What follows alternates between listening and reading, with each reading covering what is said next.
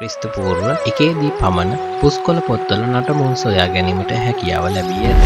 පැරැන්නන් ලේඛන මාධ්‍ය වශයෙන් ගල්පුවරු, මැටිපුවරු, රන්පත්, තඹපත් මෙන්ම තල, තල්පත්ද භාවිතයට ගෙන තිබේ. සිරස් අතට සිට වූ කණු දෙකක හරස් අතට බැඳි පුවක් කඳක් හෝ එවැනි ලීයක තල කොළය තබා එක් පැත්තක බරක් එල්ලා අනික් පැත්තෙන් ප්‍රවේශම් සහිතව ගස වටේ පිරිසිදු කර පහන් දල්වා දේවාරාධනා කර පිරිත් දේශනා කළ සිංහ ශෛලිය, හස්ත ශෛලිය, හංස ශෛලිය සහ කාක ශෛලිය වේ. ගැඩුම ගසේ වියලි කඳ පොළොස්සා ලබා ගන්නා අඟුරු කුඩු සහ දුම්මල හිඳ ලබාගත් තෙල් සහ කැකුණ තලා මදය සිඳගත් තෙල් භාවිතා කෙරේ.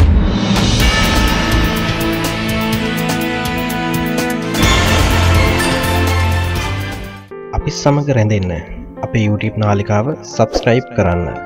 අපි අලුතින් වීඩියෝ එකක් දාපු ගමන් ඔයාලට දැනගන්න බෙල් අයිකන් එක ක්ලික් කරලා අපිත් එක්කම එකතු වෙන්න. දැන්ම සොයන ඔබ වෙනුවෙන්මයි ශ්‍රී ලක් ශ්‍රී ලක්. පුස්කොළ පොත සහ පුස්කොළ පොත් ලේඛන කලාව. ඈත ඉතිහාසයේ සිටම දැනුම සංරක්ෂණය කිරීම සඳහා භාවිතා කළ ප්‍රධානම ක්‍රමවේද ලේඛනයයි. පෑන් පැන්සල් සහ පොත් ලේඛන කාරයන්ට භාවිතා කිරීමට පෙර ඉන්දියාව ලංකාව සහ දකුණු ආසියාතික රටවල භාවිත වුණේ තල් ගසේ කොළයයි. ලංකාවේ ලේඛන කලාව ආරම්භය මහින්දාගමනෙන් අනතුරුව බව පොදු පිළිගැනීමයි. බුදුන් පිටදුන් ශ්‍රී මහා බෝධිය ලංකාවට වැඩම කරවන විට පැමිණි අටලොස් කුල පිරිස තුළ පොත්ලිවීම සිදු කළ පිරිසක් සිටි බව දැනගන්නට ලැබෙනවා. ලාංකිකයන් ඊට පෙර සිටම ලේඛනය යොදාගත් බවට පුරා විද්‍යාත්මක හා සාහිත්‍ය මූලාශ්‍ර සාධක විශාල ප්‍රමාණයක් තියෙනවා. ප්‍රාග් බෞද්ධයගේ සිටම ලාංකිකයන් කිසියම් ආකාරයක ලේඛන කලාවක් භාවිතා කළ බවත් මහින්දාගමනින් පසුව එය අභිසංවර්ධනය වූ බවත් සඳහන් කළ හැකිය. පැරැන්නන් ලේඛන මාධ්‍ය වශයෙන් ගල්පුවරු, මැටිපුවරු, රන්පත්, තඹපත් මෙන්ම තල, තල්පත්ද භාවිතයට ගෙන තිබේ. කල්යත්ම අක්ෂර කලාවේ වර්ධනයක් සමග තල්පත මත ලිවීම වඩාත් ජනප්‍රිය විය.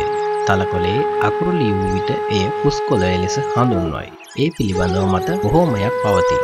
ඉන් එකක් ලිවීමට හෝ උල්කටුත්ම සීරීමට පිළියල කරගන්නා හිස් කොලය පුස් කොලය නම් මෙය දහනම වන සියවසෙහි බෙන්ජමින් ක්ලබ් දේව ගැතිතුමන් විසින් ඉදිරිපත් කළ මතය.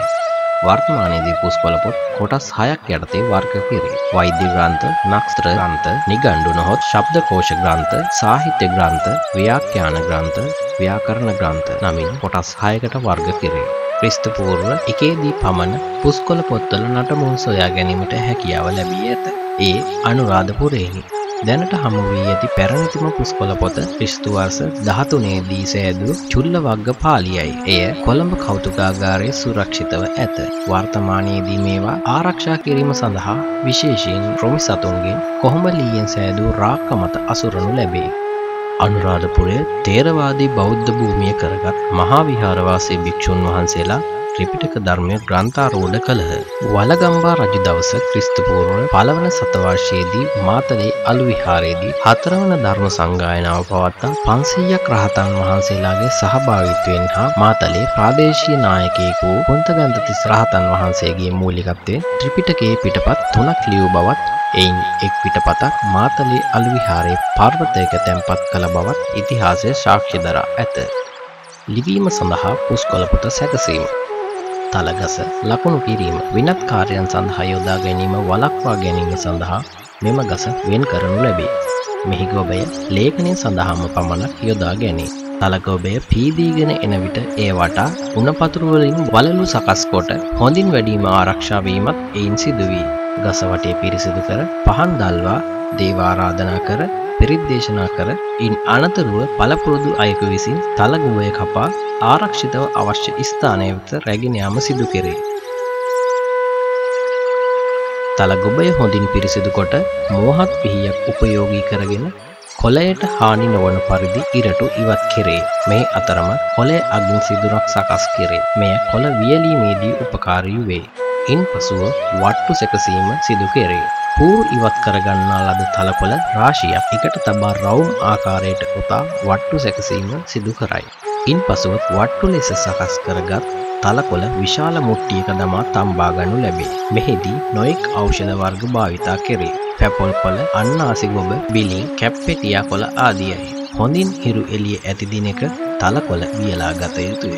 ඉන් පසු මද අව්වේද අලුයම මද පින්නේද නැවත මද පවනේද වියලා ගත යුතුය. මනා ලෙස වියලීම සිදු නොවුවහොත් දුර්වර්ණ වී ඉවත දැමීමට සිදුවේ. වියලාගත් කොළ සිරස් අතට සිට වූ කණු දෙකක හරස් අතට බැඳි පුවක් කඳක් හෝ එවැනි ලීයක තල කොළය තබා එක් පැත්තක බරක් එල්ලා අනික් පැත්තෙන් ප්‍රවේශම් සහිතව ඉහළ පාලයවීමෙන් තල කොළේ මැදගනු ලැබේ. මැදගන්නාලද තල කොළය වට්ටු ලෙස සකස් කොට සුරක්ෂිතව නැවත ප්‍රයෝජනය සඳහා තබා ගැනේ.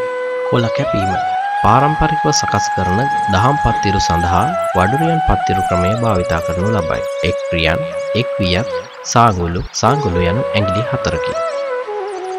යකඩ පූරක් ආධාරයෙන් හෝ කොළ අච්චු භාවිතා කරමින් පොතේ ස්වභාවය අනුව කපාගන්නක් කොළ ප්‍රමාණයෙන් වෙනස් වේ.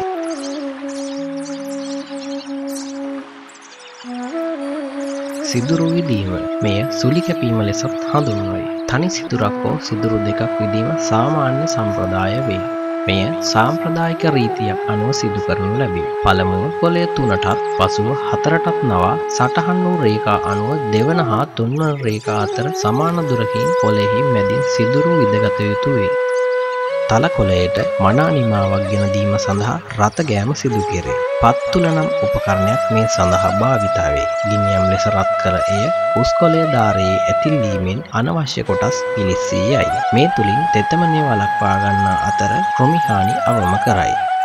පොතේ කම්බාරි යනුවෙන් හඳුන්වන්නේ පුස්කොළ පොත ආරක්ෂා කරමින් ඒ වටේ ඇති කවරයටයි. දැව සතුන්ගේ හම් ඇත්දත් රන් රිදී සහ පිත්තල ආදීන් නොයෙක් දේවල් මගින් මෙහි කවරය සාදා ගන්නවා. සාම්ප්‍රදායික මෝස්තර කැටයම් ආදී යොදා මේ හැඩ කරගන්නවා. මැනික් ඔබ වටිනා පුස්කොළ කම්බාරින් දැක ගන්නට හැකියාව ඇත. කම්මාරි දෙක එකට බැඳ තබන්නේ සකිය මගිනි. පොත්තුයේ කොළ විසිරිලා යාම නවත්තා ගැනීම සඳහා මෙය මහෝපකාරී වේ. පසුව පුස්කොළපොත ලිවීම ආරම්භ කරයි. පුස්කොළ ලේඛනය හා අකුරු කැපීම යනුවෙන් මෙය හැඳින්වේ. පුස්කොළ ලේඛන කලාව තුළ සිදුවන වැදගත්ම කාර්යය මෙයයි.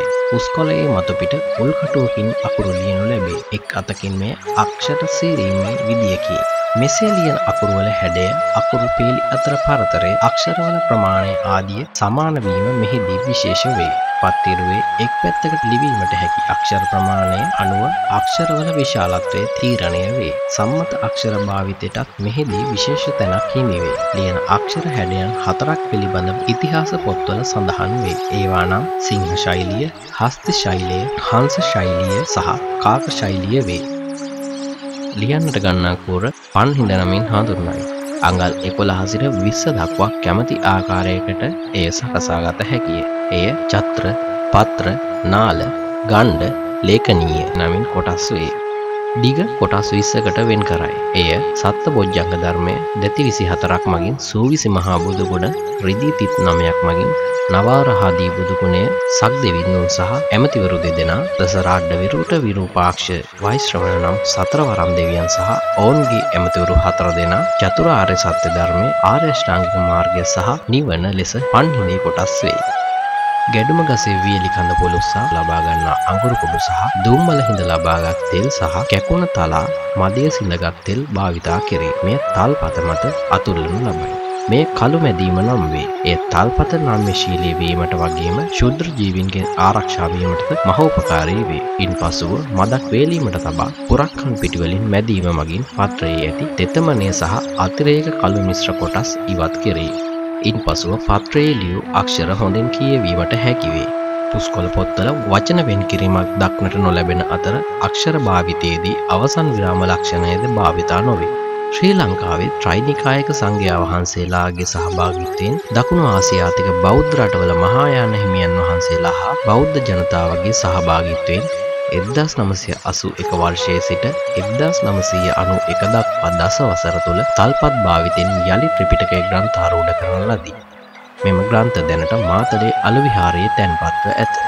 මීට අමතරව තල්පතේ ලියූ ත්‍රිපිටක ධර්මයේ පිටපතක් දකුණු කොරියාවේ තුදු සවිහාරයේ පුස්තකාලයේ තැන්පත්ව ඇත.